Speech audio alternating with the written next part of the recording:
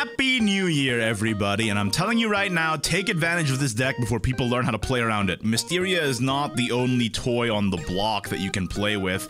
The ability to get even more golems out with Mr. Bertrand's Mysterian Circle. Not only that, the fact that Mr. Bertrand is two spell boosts for air means that the win condition of spamming Golem Lords to deal massive damage based on how many golems you summon, and then resummoning Golem Lords with air for even more damage, that game plan is an absolute go. If that wasn't enough, the new Summoning Disaster also summons a Clay Golem and a Sediment, increasing your count even more. And then other than that, you just play the good Earth Rite and Spell Boost cards to draw into that combo. Familiar's Pact always pulls Golem Lords, so it's always nice to keep that. Keeping air in the early game is nice as well, so you have that insurance, you're gonna have more Golem Lords in the back. In this playstyle, accelerating the Golem Lord spell is better than it is usually in regular Earth Rite. Adds to your count and adds to your spell boost. And the fact that Golem Lord Fanfare can clear wide boards is super important in this current meta. What with Rally Sword, Last Word Shadow, and Mysteria Rune running around. It's going pretty well. I feel like the only matchup I struggled with was Dragon, mostly because I just rolled double ramp or something.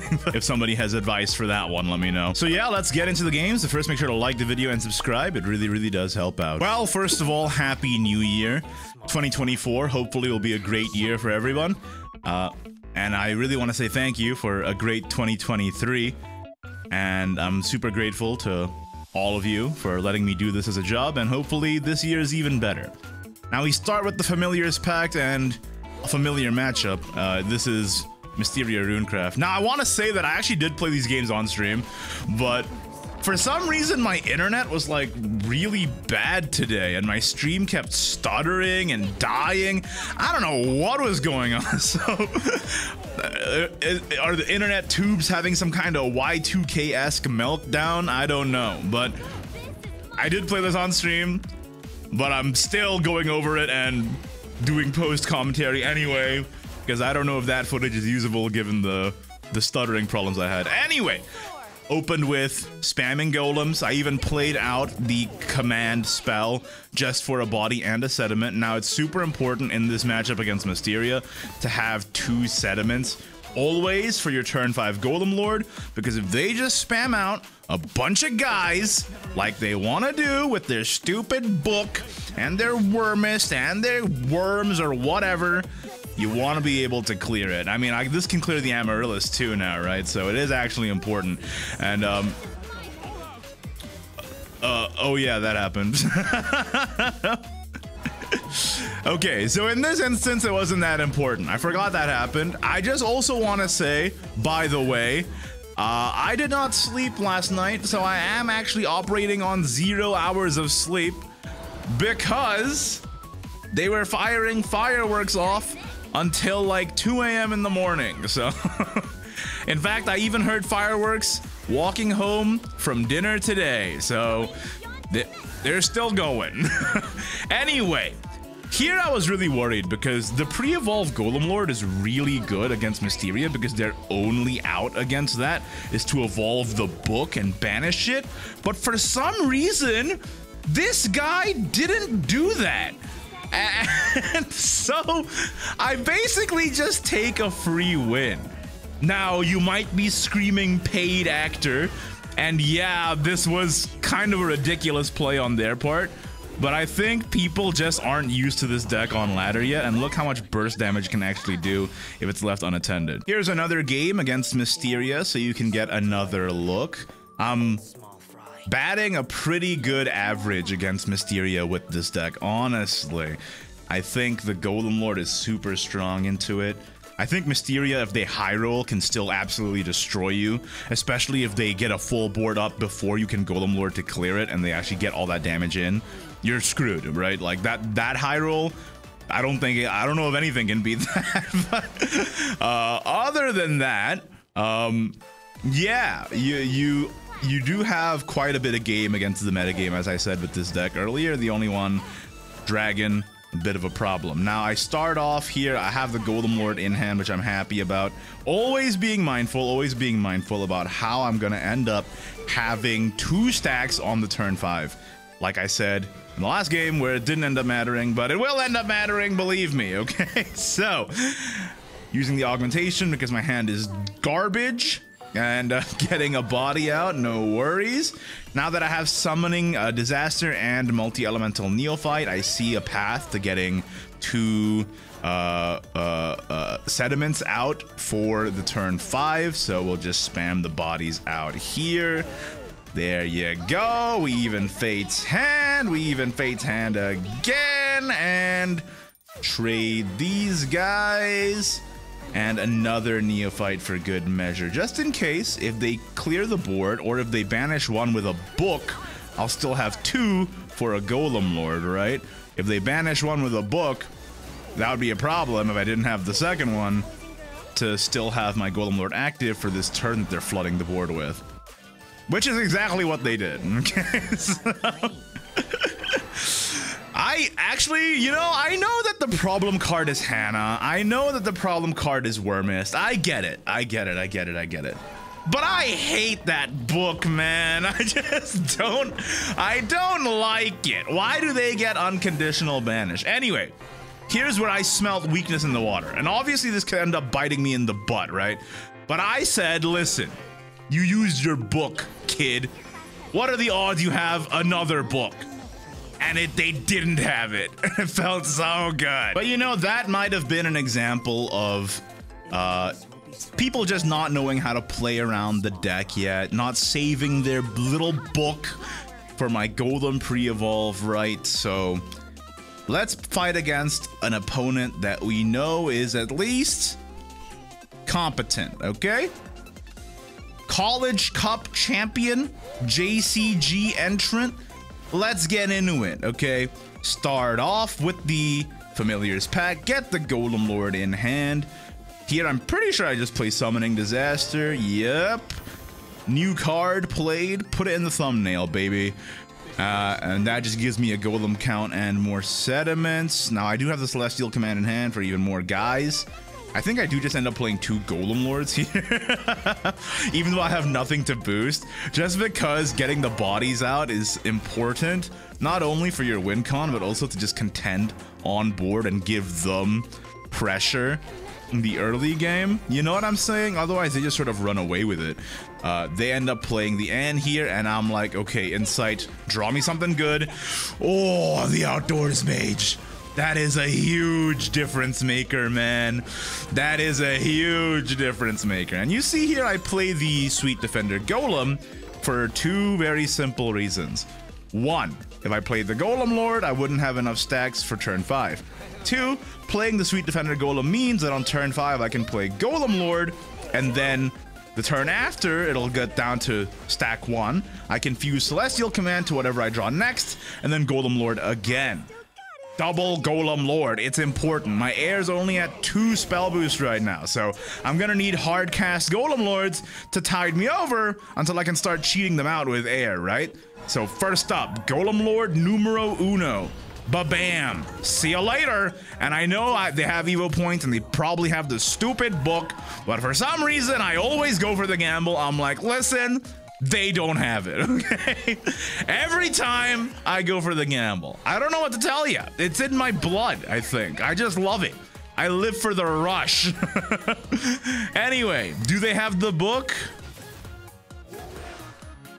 They don't have the book. I think if this deck gets more popular, believe you me, they are gonna start keeping that book even more aggressively than they already keep it.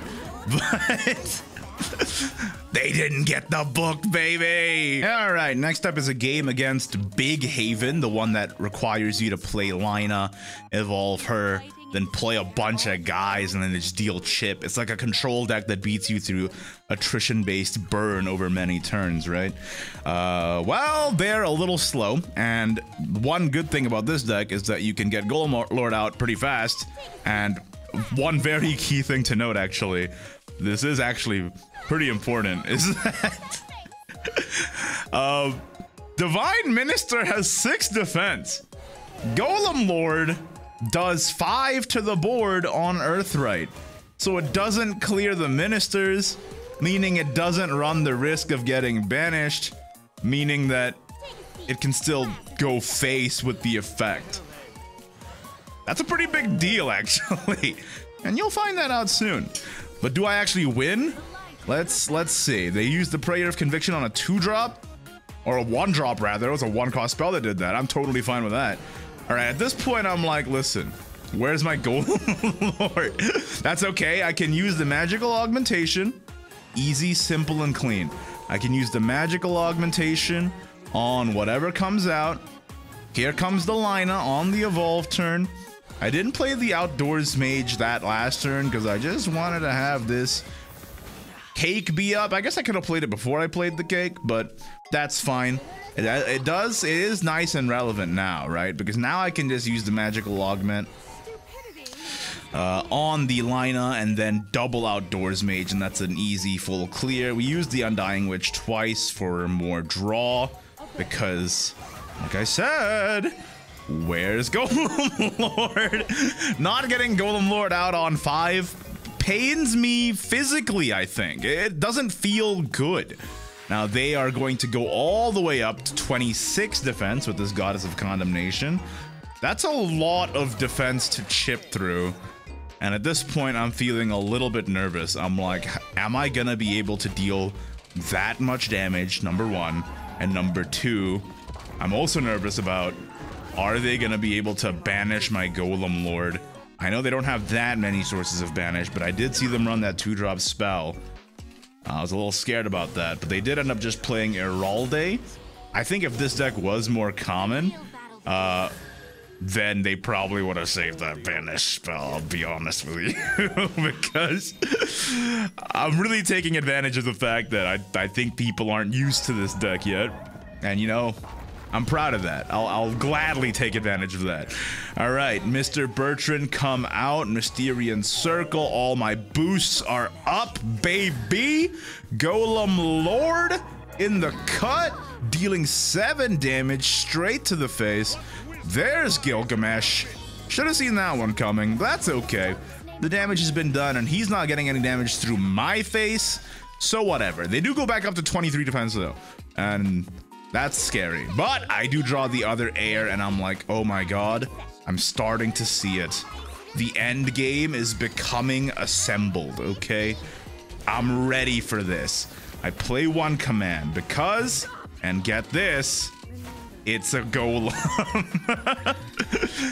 Pretty self-explanatory gameplay from Ignideus this time run the air in. It does give me a damage shield and boost the other air, which is nice. Gets me another Golem Lord potentially.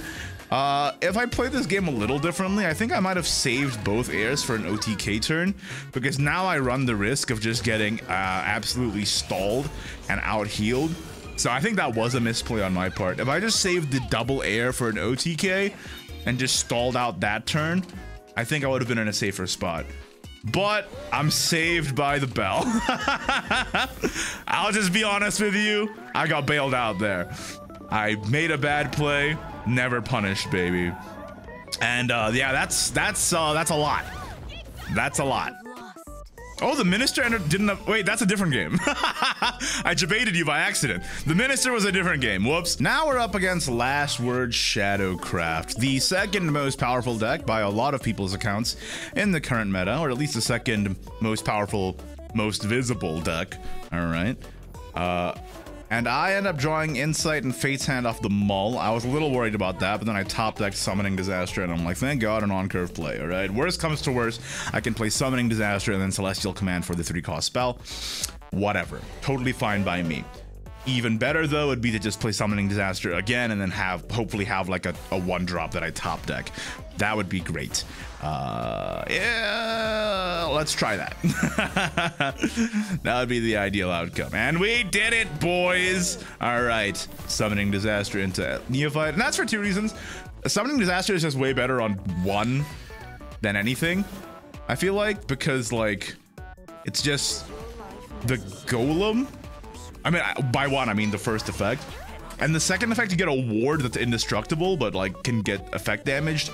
And then on the third effect, you get a storm guy, which is pretty cool, but very late. So yeah, I feel like playing it for two when you can is usually the right call. Uh, and yep, making sure that I have at least two stackaroonies for my turn five. Now here I was actually stressed out because I was thinking they could just pass. They could just pass and stall me out and I would be screwed. I was so worried about that. But then they played Hellfire Strike and I was like, thank you, Lord. Okay, Golem Lord out on the board. Ba ba bam. To be fair to them, I suppose, like, even if they stalled me out, I could always trade one into the Amaterasu and play Golem Lord anyway. So, wasn't really a bad play from them. Uh, it just meant that I got less, or I got more golems out, which is what mattered to me more than just having the board. Uh, but yeah, I would have been able to play Golem Lord anyway, really, right? Like I just trade a Golem into Amaterasu, which they can't control uh, having it summoned unless they had a Night Terrors in hand for them to sit. So I can't really, can't, can't really, can't really put the blame on them for that one. That's not their fault. Okay. But anyway, Celestial Command coming in clutch, giving me an extra Stackaroni for another Golem Lord, the pre-evolve because at this point I'm thinking the only removal for this board through three wards is Istendet or just an unreasonable amount of rush cards. And then this happened, and I was like, oh, okay, so there's an unreasonable amount of rush cards coming in. but then it didn't. And uh, yeah, it was really relieving. And now we're up against Forest Craft. Now, Castelle Forest has been ticking up in popularity recently. Not great against Mysteria Rune, but it has good matchups into uh, Last Word Shadowcraft, as far as I'm aware. So, not too surprised to see Castelle on the ladder here. And I do get the Golem Lord in the opening hand and Summoning Disaster turn two. So at this point, I'm like, okay, I can play the Celestial Command on three if I have to. Just get a body up. They do end up playing Gale Pierce, which I found pretty interesting. Thankfully, I top decked the uh, Cake Golem, and I just went ahead and spent a Golem Lord activation to get a body while healing and making sure, always keeping in mind, always, always, always, that I have enough for Golem Lord on 5. That's really important, okay? So Mr. Bertrand comes out. That's more golem count. No air in hand does make me a little sad, I'll be honest with you. My hand is looking a little, just a little bit low on resources. So I'm like, okay, this golem lord is gonna come out next turn. And I swear to God,